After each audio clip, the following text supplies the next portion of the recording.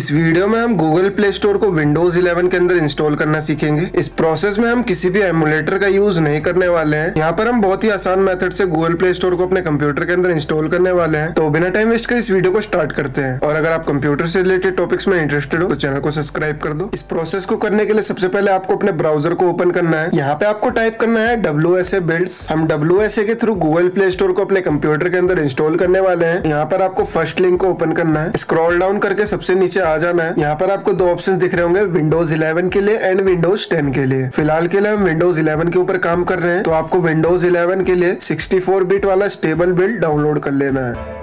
अब आपको थोड़ा सा स्क्रॉल करना है। यहाँ पर आपको एक ऑप्शन दिख रहा होगा। आपको यहाँ पर रिमूव्ड अमेजोन वाले फ़र्स्ट लिंक को ओपन करना है। इसके ऊपर टैप करना है। डेस्कटॉप पर सिलेक्ट करके फ़ाइल को डेस्कटॉप पे डाउनलोड कर लेना है। फ़ाइल डाउनलोड होने के बाद आपको फ़ाइल के ऊपर राइट क्लिक करना है। एक्सट्रैक्ट ऑल पे क्लिक करना है। एंड फ़ाइल को एक्सट्रैक्ट कर लेना है। एक्सट्रैक्ट कंप्लीट होने के बाद आपके डेस्कटॉप पे एक और फोल्डर क्रिएट हो जाएगा। इस फोल्डर को ओपन करने से पहले आपको कुछ और सेटिंग्स को अपने कंप्यूटर के अंदर कर लेना है। सबसे पहले आपको विंडो बटन को प्रेस करना है एंड सेटिंग्स को ओपन कर लेना है। यहाँ पर आपको सिस्टम वाले ऑप्शन में आ जाना है। यहाँ पर आपको एक ऑप्शन दिख रहा होगा फॉर डेवलपर्स आपको इसके ऊपर टैप करना है। यहाँ पर आपको अपने डेवलपर मोड को अनेबल कर देना है। फ़िलहाल के लिए मैंने यहाँ पर अनेबल कर रखा है। देन आपको दोबारा से विंडो बटन को प्रेस करना है। Turn Windows feature on and off type करना है। एंड इसे भी ओपन कर लेना है। यहाँ पर आपको एक ऑप्शन दिख रहा होगा वर्चुअल मशीन प्लेटफॉर्म आपको इसको अनेबल कर देना है। अगर आपके कंप्यूटर में अनेबल नहीं हो रखा है तो एंड ओके बटन पे प्रेस कर देना है। एक और सेटिंग को आपको अपने कंप्यूटर के अंदर चेक करनी है। टास्क बार के ऊपर राइट क्लिक करना है। टास्क मैनेजर को ओपन करना है। परफॉर्मेंस वाले सेक्शन में आके सीपीयू वाले सेक्शन में आ जाना है। यहाँ पर आपको एक ऑप्शन दिख रहा होगा वर्चुअलाइजेशन अगर ये अनेबल है तो आप डब्ल्यू को अपने कंप्यूटर के अंदर आसानी से इंस्टॉल कर पाओगे। अगर डिसेबल हो रखा है तो इसे कैसे अनेबल करा जाता है, इसके लिए आपको आई बटन में वीडियो मिल जाएगा। देन आपको इसे भी क्लोज कर देना है। एंड अब आपको फोल्डर को ओपन करना है। इस फोल्डर को भी ओपन करना है। यहाँ पे आपको थोड़ा सा स्क्रॉल करना है और यहाँ पर आपको एक फ़ाइल दिख रही होगी रन फ़ाइल आपको इसके ऊपर टैप करना है राइट क्लिक करना है रन एज एडमिनिस्ट्रेटर पे क्लिक करना है और इन्फो पे क्लिक करके रन एनीवे पे क्लिक कर देना है। ऑटोमेटिकली डब्ल्यू आपके कंप्यूटर के अंदर इंस्टॉल होने लग जाएगा तो इस प्रोसेस को कंप्लीट होने दीजिए।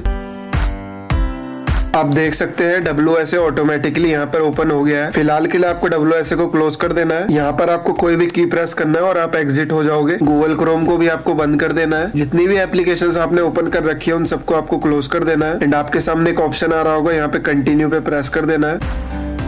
हो सकता है इंस्टॉलेशन कंप्लीट होने के बाद भी डब्ल्यू आपके कंप्यूटर के अंदर न शो हो। इस चीज़ को सॉल्व करने के लिए आपको कंप्यूटर को एक बार रिस्टार्ट करना है। उसके बाद आपका डब्ल्यू वर्क कर जाएगा। अगर आपकी कोई भी क्वायरी हो तो आप कमेंट सेक्शन में मुझसे पूछ सकते हो। यहाँ पर आप देख पा रहे होंगे सेटिंग्स ओपन हो गई है। अब आपको इसे क्लोज कर देना है। एक और कंटिन्यू का बटन होगा, इसके ऊपर टैप करना है। आप देख पा रहे होंगे, आपके सामने प्ले स्टोर ओपन हो चुका है। अब यहाँ पर हमें अपनी जीमेल आईडी से साइन इन कर लेना है।